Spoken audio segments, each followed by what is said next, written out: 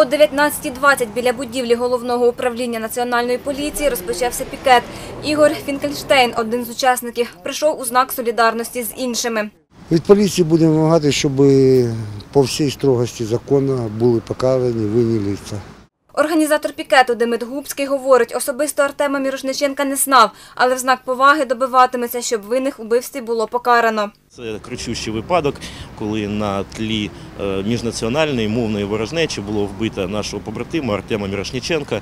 Е, Його е, до честі правоохоронців затримали, їх затримали, вбивців, їх було двоє, достатньо оперативно. Ну, але ми знаємо, що на даний момент вони перебувають під домашнім арештом. І звісно, що ми вимагаємо для них суворого покарання. Це не побутове вбивство, це не вбивство з хуліганських мотивів. Його вбили за те, що він був українцем, любив Україну, так само, як власне і ми.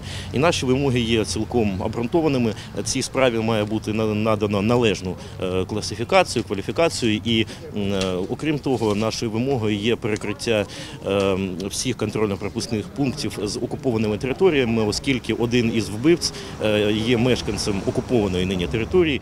На пікет прийшло 13 людей. Тривав він 10 хвилин. Нагадаємо, 30 листопада в Бахмуті Донецької області побили українського активіста Артема Мирошниченка за те, що він розмовляв українською мовою. Ніна Булах, Василь Філімон. Новини на Суспільному. Миколаїв.